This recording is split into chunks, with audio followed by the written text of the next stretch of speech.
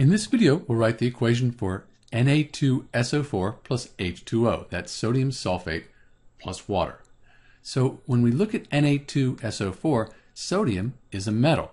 And then SO4, S and O are nonmetals. This is a group of nonmetals and it's called a polyatomic ion, the sulfate ion.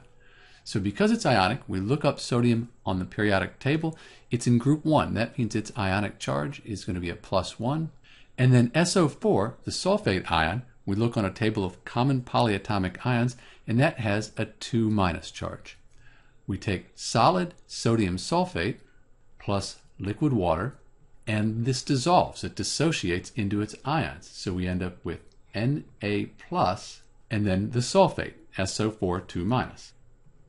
Because we have the subscript of 2 after the sodium, that means we have two sodium ions and then just the one sulfate ion. So we put the solid in the liquid, it dissolved, and we ended up with the solid dissolved in water. And we can call that aqueous, which stands for dissolved in water. And because we put this aqueous here, we don't need to write H2O on this side of the equation. And that's the equation for Na2SO4 plus H2O, sodium sulfate plus water. This is Dr. B, and thanks for watching.